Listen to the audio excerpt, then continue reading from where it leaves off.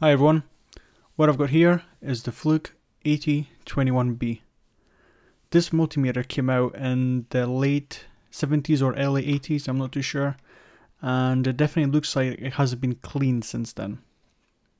Although, it doesn't have any cracks or particularly deep scratches, so after a deep thorough clean, it should look good as new.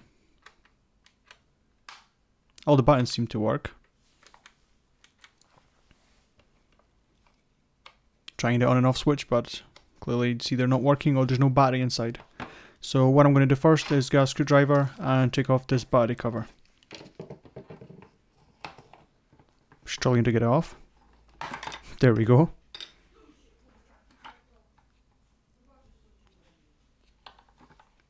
Taking a look inside, there's no corrosion as far as I can tell. The 9 volt battery connector looks good as well.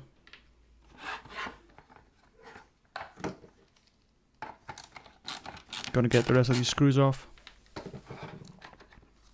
Popping open a case and more dust.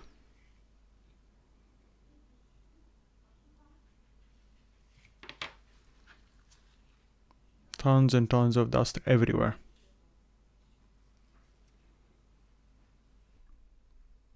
Just gonna remove this shield, have a look underneath.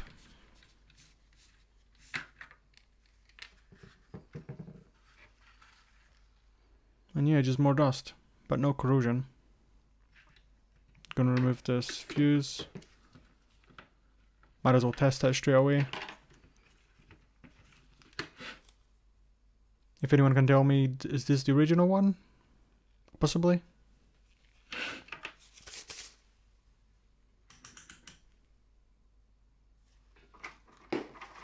And we've got a beep. So this fuse seems good. Now this screw is stuck in the screw post, which is become detached from the front of the case. So I'm having to hold it down with a pair of pliers and just screwing the screw out. And there we go. Gonna have to glue this back in place later.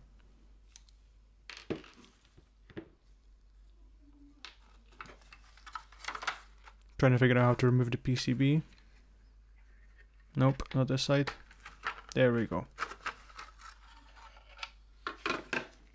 And yeah, it looks uh, look it looks good. Just dust, tons and tons of dust.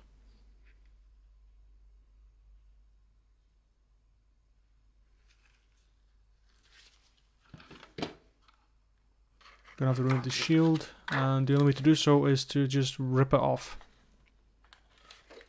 Trying to be careful so I don't rip it. But I should be able to get it back in later. Worst case scenario is I'll have to glue it back in. As you can see, tons and tons of dust everywhere. So I'm just grabbing some 99% isopropyl alcohol and my toothbrush. I'm just going to scrub everything down.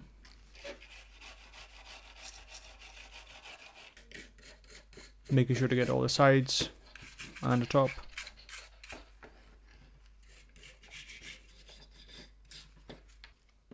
I won't bother separating the PCB at this stage.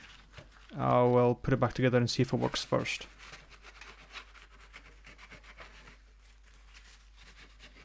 And yes, the LCD needs to be fixed. I will probably make a video replacing it at some point.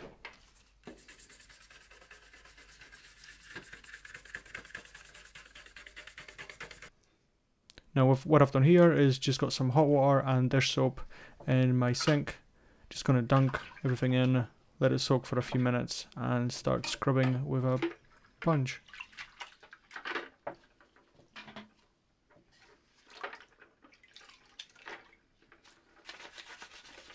You can see just how dirty that water is getting already.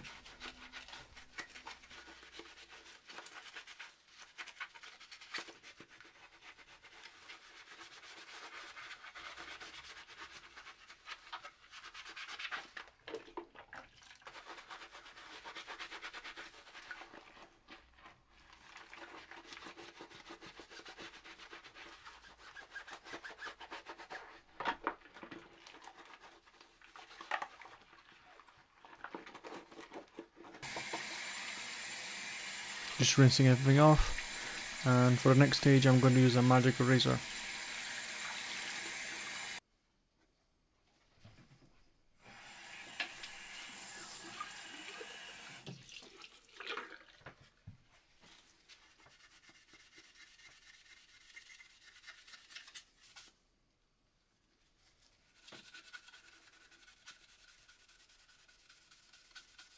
Now here you can see just how good of a job the Magic Eraser is doing, but it does take some effort.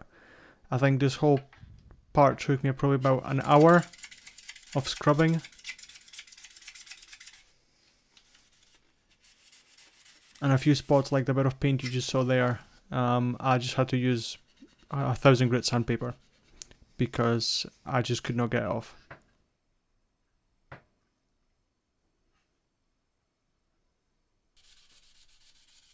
Doing the back of the case now.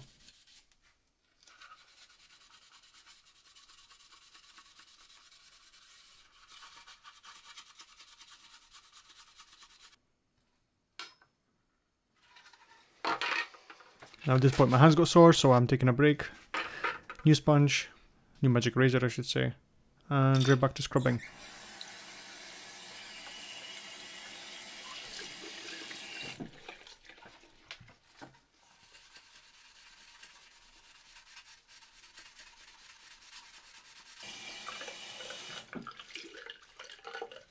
And no, I didn't forget the body cover.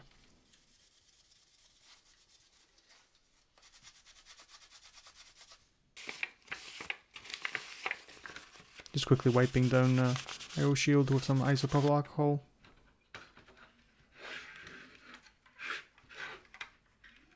Get everything back into the case.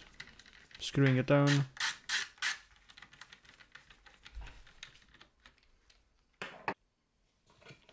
Now what I have to go here is some hot glue, just melting it and trying to get the post back on.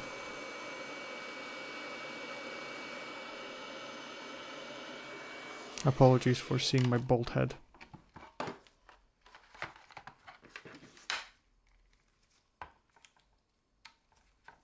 Get a battery in. Yes, it's a Duraleak. I will get a better battery for it later. Struggling with the battery cover again. There we go. Getting the last of the screws back in. And there we go. It's already on.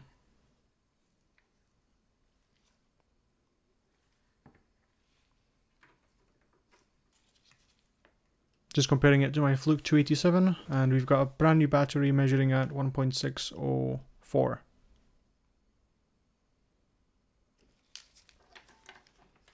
Now comparing that on a Fluke 8021.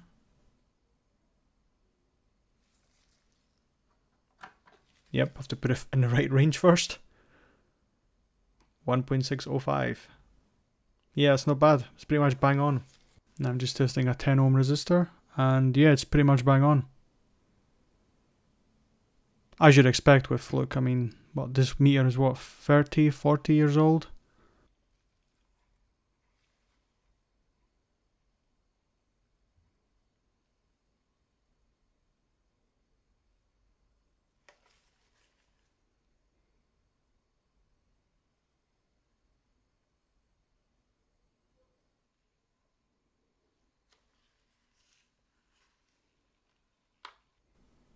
Fun, here's a before and after.